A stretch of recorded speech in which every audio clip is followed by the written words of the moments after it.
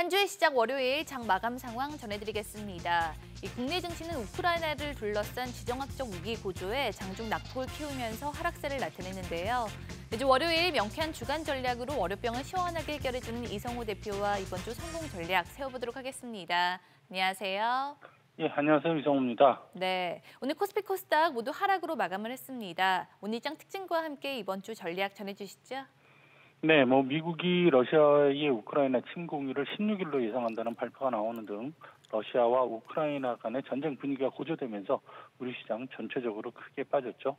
아, 다만 이제 전쟁 발발 시 유가가 120달러까지 상승할 수 있다라는 전망이 나오면서 LPG와 도시가스 관련주들 뭐 일부 강세를 보였고 방산주하고 곡물가 급등 우려로 농업 관련주도 일부 상승세를 보였습니다.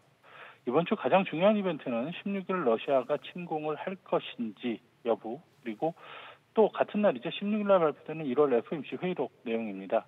미국은 15일에 러시아가 가짜 깃발 작전으로 자작극을 벌여서 어, 다음 날 16일에 우크라이나를 침공할 것이다라는 시나리오를 제기하고 있지만은 이미 이렇게 다 공개가 된 상황에서 침공이 현실화될 수 있을지는 좀 의문스러, 의문스러운데요.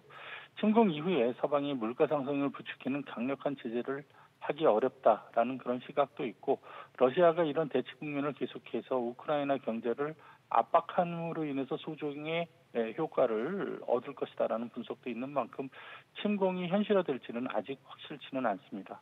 만약에 16일까지 침공이 없을 경우에 그 이후에도 양측의 긴장 상태는 당분간 지속될 수 있겠지만은 심리적 압박은 상당 부분 덜어낼 수 있을 것으로 생각이 됩니다. 또 우리 시간으로 17일 오전 4시에 발표되는 회의록에서는 1월 FOMC에서 그 대차 대제표 축소와 관련해서 연준 위원들이 어떤 얘기를 나눴는지 힌트를 얻을 수 있다라는 측면에서 시장의 단기 방향을 결정할 수 있습니다. 어쨌든 우리 증시는 침공이 확인되는 어, 침공인지 아닌지가 확인되는 16일까지는 불안한 움직임을 보일 가능성이 높아 보입니다. 다만 러시아의 침공이 없고 FOMC 회의록에서도 별다른 얘기가 없을 경우에는 좀 빠르게 또 회복을 할 가능성을 보고 있습니다. 네, 전화 연결 감사합니다. 주식에 대한 유익한 정보 유튜브 SBS 비즈 증권 구독과 함께 카카오톡 채널에서 SBS 비즈 5스타를 검색 후 친구 추가하시면 만나볼 수 있습니다. 든든한 주식 파트너 5스타와 함께 언제나 성공 투자하세요.